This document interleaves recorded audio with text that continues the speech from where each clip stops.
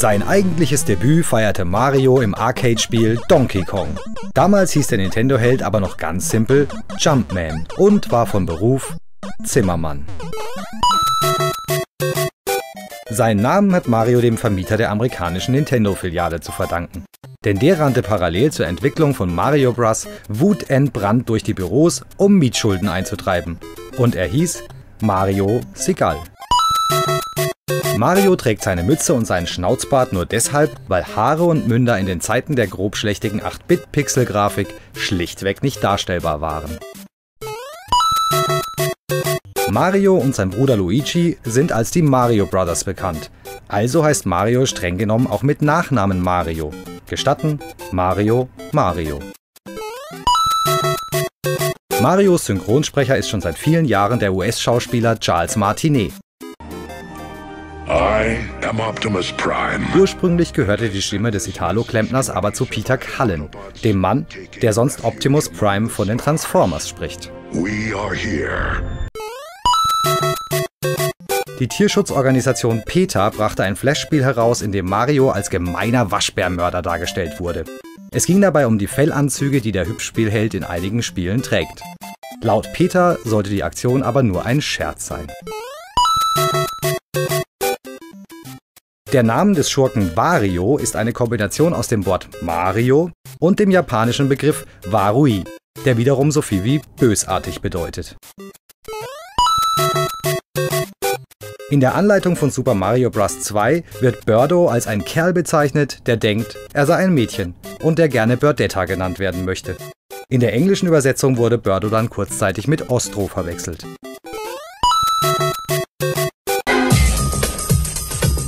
Super Mario Bros. der Film war der erste Kinostreifen, der auf einem Videospiel basierte. Und er war so schlecht, dass einem auch heute noch die Worte fehlen.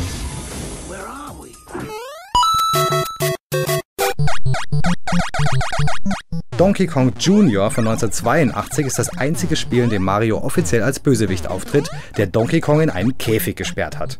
Entsprechend trägt Mario auch einen gezwirbelten Schnauzer. Denn sowas sieht ja immer richtig fies aus. Marios Erzfeind Bowser wurde von Serienerfinder Miyamoto eigentlich als Ochse entworfen. Aber Animationsdesigner Yoichi Kotabe hielt die Kritzeleien für eine Schildkröte. Ja, Bowser ist kein Dino und kein Drache, sondern eine Schildkröte. Szenen aus Super Mario Bros. 3 spielen eine wichtige Rolle im Kinofilm The Wizard von 1989. Bei uns hieß der Streifen über einen Videospiel-Champion übrigens Joystick Heroes.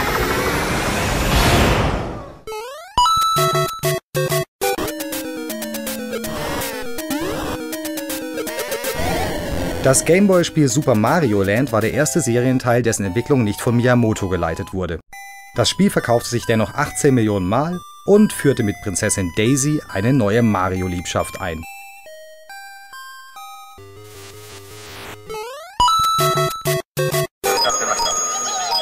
Bei der Vorstellung des GameCube zeigte Nintendo auch eine Technik-Demo namens Super Mario 128. Aus dieser ging über sieben Jahre später dann das geniale Super Mario Galaxy hervor. In einem Vorort der spanischen Stadt Saragossa wurde eine Straße auf den Namen Avenida de Super Mario Bros. getauft. Die relativ jungen Bewohner des Viertels durften über die Straßennamen im Neubaugebiet abstimmen und entschieden sich für Videospielhelden als Inspiration.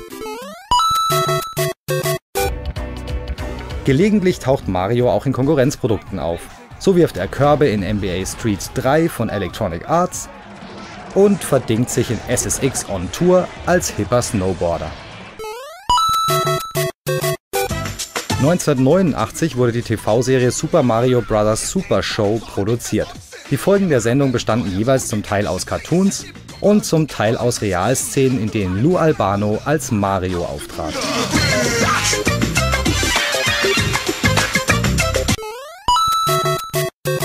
...1984 erschien Golf für das NES.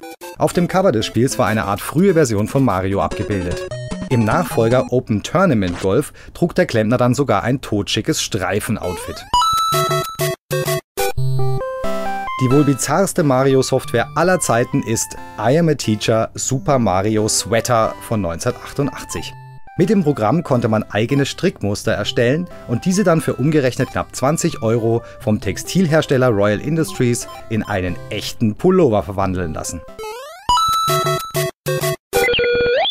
1991 kam das Lernprogramm Mario Teaches Typing auf den Markt. Die charmante Anwendung lehrte spielerisch, wie man die Tastatur eines Computers bedient und möglichst schnell Wörter eintippt. Von wegen Super Mario ist nur auf Nintendo-Konsolen zu Hause. Mit Mario is Missing erschien 1992 ein Serienableger auch für den PC und den Mac. Die NES-Portierung des Titels wurde später von Radical Entertainment entwickelt. Ja, richtig, das sind die, die später Prototype erfinden sollten. Für die Flop-Konsole CDI von Philips erschien mit Hotel Mario der wohl schlechteste Mario-Titel aller Zeiten. Die Mischung aus Hüpf- und Puzzlespiel steuerte sich furchtbar und bestand zu einem Großteil aus seltsamen Videozwischensequenzen. Auch für Nintendos Konsolenkatastrophe Virtual Boy sollte eine Mario Land-Episode erscheinen. Das Spiel kam aber nie über eine Beta-Version hinaus. Wohl zu Recht. Nach dem Fußballspiel Super Mario Strikers arbeitete Entwickler Next Level an einem Volleyball-Ableger namens Super Mario Spikers. Die Mischung aus Ballsport und Wrestling wurde jedoch nie fertiggestellt. Im Hollywood Wax Museum in Los Angeles stehen nicht nur täuschend echt wirkende Wachsfiguren von Schauspielern wie George Clooney herum, sondern eben auch eine Super Mario Statue. Den Walk of Fame mit seinen Starnamen auf goldenen Sternen kennt jeder. Den Walk of Game hingegen nur wenige. In einem Einkaufszentrum in San Francisco wurden zu Ehren von Videospielikonen 2005 und 2006 Bodenplatten eingelassen. Klar, dass auch Mario dort einen Stern hatte.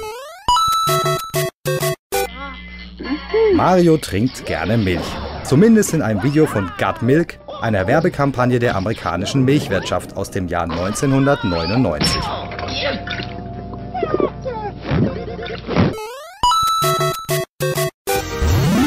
Mamma mia! Es mag zwar absurd klingen, aber Super Mario wurde auch Opfer diverser Porno-Parodien. So gibt es zum Beispiel einen Schmuddelfilm namens Super Mario Triple X, in dem Prinzessin Peach ausnahmsweise mal gar nicht so schüchtern agiert.